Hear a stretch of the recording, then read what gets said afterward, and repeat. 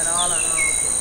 So I kind of just sit back at home with my radio and I listen to whatever passes by. So I, I enjoy it as if though I was right there.